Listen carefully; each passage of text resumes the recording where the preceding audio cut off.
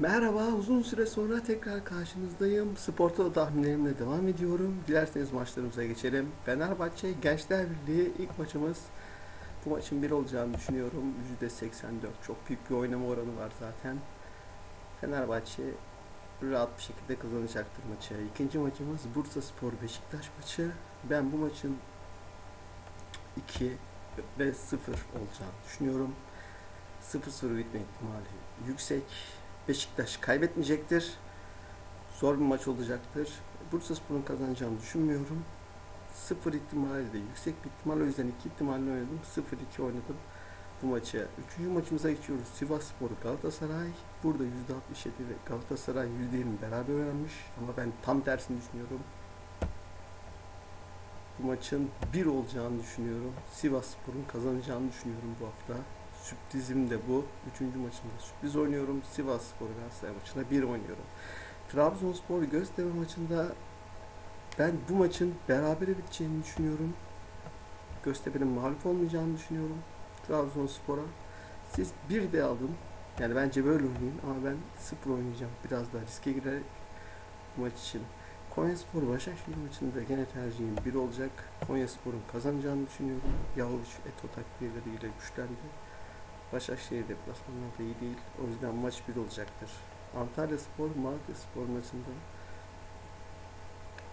ben bu müsabakanın da iki olacağını düşünüyorum. Antalya Spor çok güç kaybetti. Eto gitti, Nasri gitti, Menez gitti. Van Kör gitti. Malatya Spor yeni bir forvet aldı Brezilya'dan. Ve takım sistem olarak yavaş yavaş oturuyor. O yüzden maçın iki olacağını düşünüyorum. Karabükspor Alanya maçındaki tercihim de gene iki olacak. Karabükspor'un maçı kaybedeceğini düşünüyorum ki zaten bana göre kümeye düştüler. Alanya Spor'da alt sıralardan kurtulmak için kazanacağı bir maç bu. Ve biraz da rahatlayacaklardır bu maç kazandıktan sonra. O yüzden Alanya Spor'un kadrosu da iyi. Her ne kadar Wagner'le almışsa da bu maçın iki olacağını düşünüyorum. Kasımpaşa Akhisar maçında tercihim bir Kemal Özdeş'in istifası vardı. Daha sonra tekrar geri geldiler. Bu maçta futbolcular çok hırslı çıkacaklardır. Akhisar Spor'un da hafta içinde bir kupa yorgunluğu var. Onun da etkisi olacaktır. Kasımpaşa kendi sahasında maçı kazanacaktır.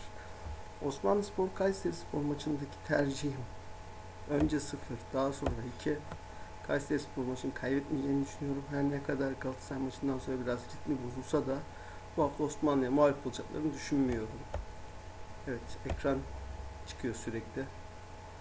Neden bilmiyorum ama Burnley Manchester City maçında kazanan takım Manchester City olacaktır. Çok rahat bir şekilde kazanacaklardır bu maçı. Arsenal Everton maçındaki tercihim de bir çok da yorum yapılacak bir maç değil. Arsenal Everton'dan çok daha iyi bir takım ve Everton'da sadece uzun toplarla oynayan bir takım. Başka bir planları yok. Arsenal karşısında direneceklerini zannetmiyorum. Liverpool Tottenham maçındaki tercihim bu hafta sıfır olacaktır. Tottenham'ın kaybetmeyeceğini düşünüyorum. Hatta kazanma ihtimali bana öyle Liverpool'dan daha fazla. Ama ben sıfır tek ihtimal diyorum.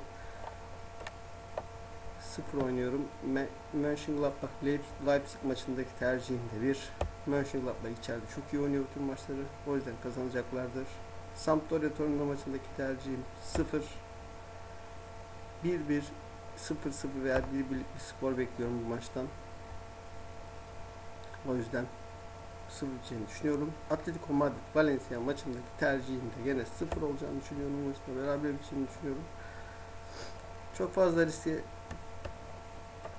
hani girmeden biraz sürpriz bir kupon yaptık. 2 liralık bir kupon yaptık. Hepinize bol şanslar.